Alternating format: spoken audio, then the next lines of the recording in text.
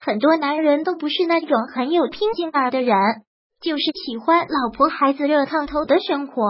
要是让他像一个超人一样连轴转的话，一定会感到不适应和不习惯。虽然看起来有些不求上进，但是平平凡凡的生活也许才是他最喜欢的。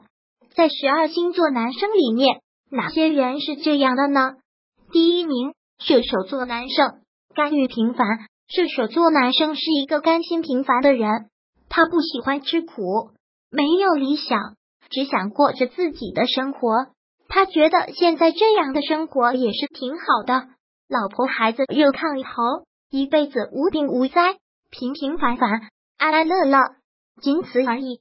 第二名，双鱼座男生，随波逐流。双鱼座男生对于未来没有很明确的规划，是一个喜欢随波逐流的人。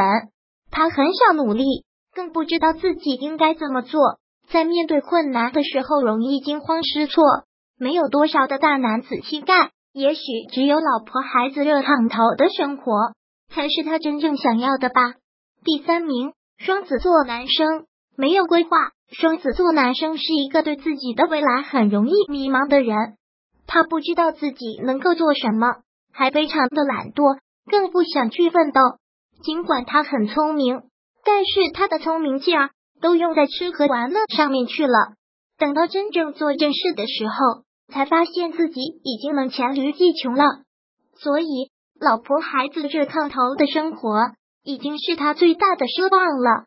如果喜欢本视频，请分享并订阅本频道，别忘了按赞哦。